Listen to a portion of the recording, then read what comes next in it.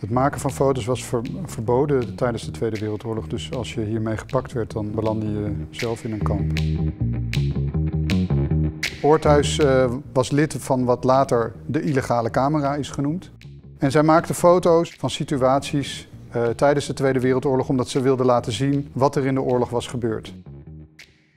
Oorthuis verborg zijn camera in zijn jas. En uh, je moest dus heel erg goed oppassen dat je niet gepakt werd, dat mensen je zagen fotograferen. Natuurlijk was het analoge fotografie, dus je kon je eigen rolletjes ontwikkelen thuis. Die rolletjes werden vaak verstopt en pas na de oorlog is dat beeldmateriaal naar buiten gekomen. Je ziet in dit, dit album de verwoesting die in Amsterdam met name is aangericht. Je ziet lijken, je ziet de werkzaamheden van het verzet. Je ziet de beroemde serie van een vrouw met een broodkorst. En je ziet dat ze het heel zwaar heeft. En dit is de foto die uiteindelijk in de Family of Men terecht is gekomen.